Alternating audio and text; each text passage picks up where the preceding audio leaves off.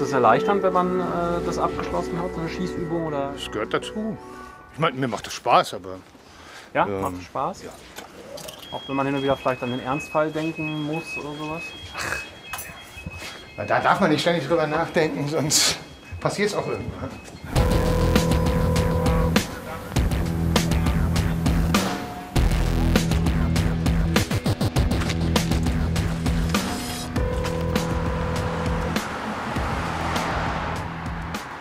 In weniger als einer Stunde hatten wir jetzt zum Beispiel zwischen 3 und 4 Uhr fünf Raubüberfälle, also vier davon auf Straße, eine in der Wohnung. Haben auch Einbrecher auf frischer Tat äh, ertappt und äh, als äh, trauriges und äh, Highlight diese Nacht hatten wir auch noch ein Tötungsdelikt.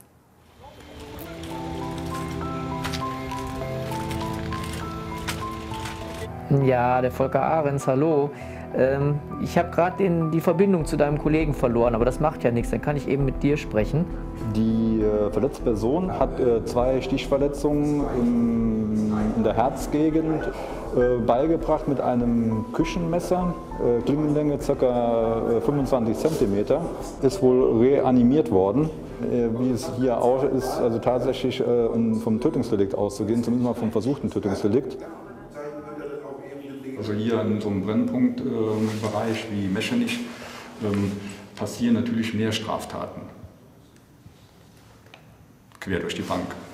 Das ist natürlich schon extrem erschreckend. Also bei mir ist es so, dass so bei, bei ganz prägnanten Geschichten, das kommt schon mal wieder. Wenn da so ein 19-jähriges Mädel liegt mit durchgeschnittener Kehle in einer riesigen Blutlache, die ganze Wohnung sieht aus, als hätte da eine Bombe eingeschlagen. Diese, diese ganzen optischen Eindrücke verbunden mit den Gerüchen, ähm, das dauert eine Weile, bis man das wieder los ist. Aber ähm, ich meine, ich habe jetzt 30 Dienstjahre, man lernt natürlich auch im, im Laufe dieser Zeit, sich von gewissen Dingen so ein bisschen zu distanzieren. Danke euch. Ähm, Was mich persönlich immer noch berührt, auch nach jahrelanger Polizeiarbeit, äh, wenn, wenn Kinder betroffen sind. Ähm, Es gibt natürlich tragische Fälle, aber wie gesagt, im Vordergrund ist letztendlich die, die, ähm, die Tatortarbeit bzw. die Polizeiarbeit vor Ort. Und wenn man alles und jedes mit nach Hause nimmt, ähm, das, irgendwann stumpft man auch so ein bisschen ab, das muss man einfach sagen. Das klappt auch nicht immer. Ne? Manchmal trägt man auch was mit sich rum, ohne dass man es weiß. Äh, Und das macht einen dann manchmal vielleicht reizbar oder ne, weniger geduldig. Ähm, Man ist vielleicht nicht mehr so nett, wie man gerne wäre. Ne? Äh, Und man, vor allen Dingen, äh, das Schlimme ist, es hält einem selbst nicht auf. Das kriegt man immer erst von außen gesagt. Ja? Da muss man jemanden haben, der dann also die Uhr mal wieder richtig stellt. Ne?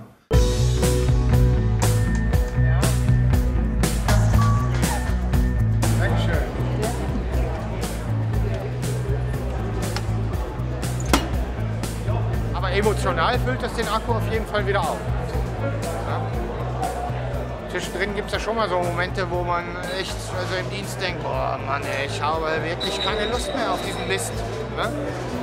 Die Arbeit ist immer die dunkle Seite vom Mond. Ne? Und, und hier sehe ich mal ganz normale Menschen und kann mich mit denen unterhalten. Ab und an lernt man neue Leute kennen oder dass diese Arbeit nicht den Rest des Lebens bestimmt.